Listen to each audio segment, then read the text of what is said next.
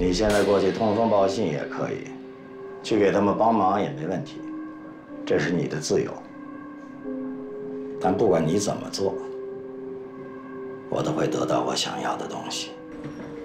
什么破公司啊！啊，没一个长脑子的，早该倒闭了。就是，还跟着我干什么？滚蛋！还有一种可能，如果两家公司联合起来，跟您还有一拼。联合？